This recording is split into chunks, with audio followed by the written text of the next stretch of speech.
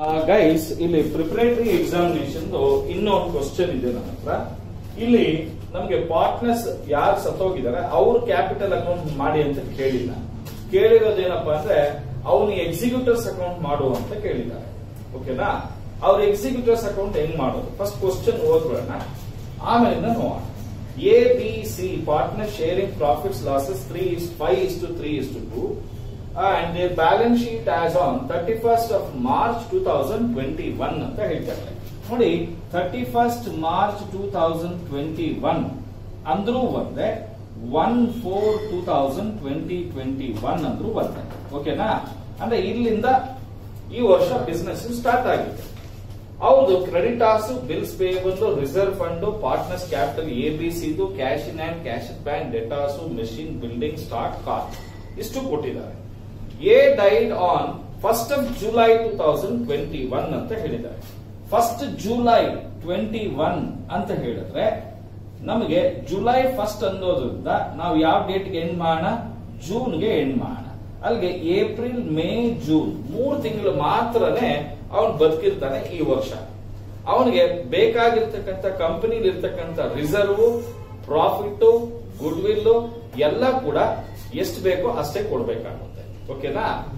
ಇಲ್ಲಿ ಏನೇನ್ ಬರುತ್ತದಂತೆ partnership deal ಅಲ್ಲಿ ಅವನಿಗೆ ಅಂದ್ರೆ ಈಸ್ ಶೇರ್ ಆಫ್ ಕ್ಯಾಪಿಟಲ್ ನೋಡಿ, ಅವನ ಶೇರ್ ಆಫ್ ಕ್ಯಾಪಿಟಲ್ ಐವತ್ತು ಸಾವಿರ ರೂಪಾಯಿ ಇದೆ, ಅದನ್ನು ಫುಲ್ ಆಗಿ ಕೊಟ್ಟಿದ್ದೀವಿ ರಿಸರ್ವ್ ಅಂತ ಇದೆ. ರಿಸರ್ವ್ ಫಂಡ್ ಒಟ್ಟು ನಲವತ್ತು ಸಾವಿರ ರೂಪಾಯಿ ಇದೆ. ಇದು ಹಿಂದಿನ ವರ್ಷಗಳಲ್ಲಿ ಅರ್ನ್ ಮಾಡಿರ್ತಕ್ಕಂಥದ್ದು. ಅವನ share of profit five by ten five is to three is to two ಎಗೆ ಫೈವ್ ಬೈ ಟೆನ್ ಅಲ್ಲಿಗೆ ಟ್ವೆಂಟಿ ತೌಸಂಡ್ ಬರುತ್ತೆ. ಹಾಗೆ his share of goodwill ಅವನ ಶೇರ್ ಆಫ್ ಗುಡ್ ವಿಲ್ ಎಷ್ಟು? ನಮ್ಗೆ ಗೊತ್ತಿಲ್ಲ. ಆದ್ರೆ ಅವನ ಕಂಪನಿದು total firm goodwill was valued at fifty thousand ಅಂತ ಹೇಳ್ತಿದ್ದಾನೆ ಗುಡ್ ವಿಲ್ ಫಿಫ್ಟಿ ತೌಸಂಡ್ ಆದ್ರೆ ಅವನ್ ಶೇರ್ ಎಷ್ಟಾಗುತ್ತೆ? ಟ್ವೆಂಟಿ ಫೈವ್ ತೌಸಂಡ್ ಆಗುತ್ತೆ. ಇಂಟ್ರೆಸ್ಟ್ ಆನ್ ಕ್ಯಾಪಿಟಲ್ ಮಾಡಬೇಕು. Interest on capital five percent ಅಂತ ಹೇಳಿದ್ದಾನೆ ಅವನ್ ಹಾಕಿರೋ ಬಂಡವಾಳ ಐವತ್ತು ಸಾವಿರ. ಐದು ಪರ್ಸೆಂಟ್ಗೆ ಮೂರು ತಿಂಗಳಿಗೆ. ಯಾಕೆಂದ್ರೆ January sorry April May June ಮೂರು ತಿಂಗಳು ಮಾತ್ರ ಇರುತ್ತೆ ಅಲ್ಲಿಗೆ ಇಂಟ್ರೆಸ್ಟ್ ಎಷ್ಟು ಬರುತ್ತೆ? ಸಿಕ್ಸ್ ಸೆವೆಂಟಿ ಫೈವ್ ರುಪೀಸ್ ಬರುತ್ತೆ.